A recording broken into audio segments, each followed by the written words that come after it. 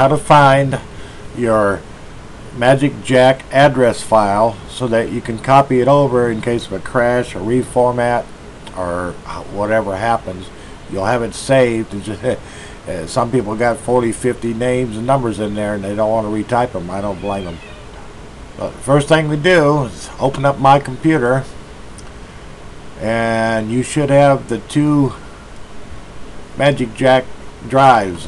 I guess they'd be U USB drives.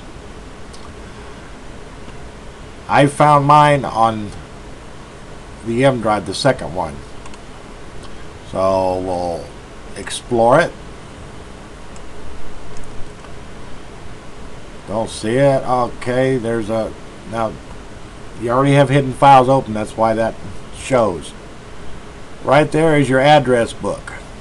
It's an XML document file.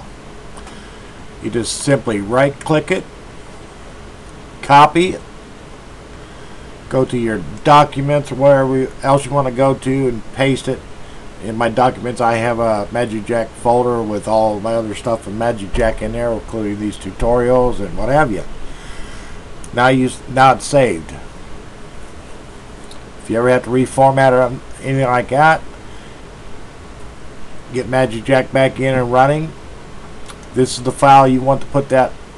This is the folder that you want to put that file back into. So that's all there is to it.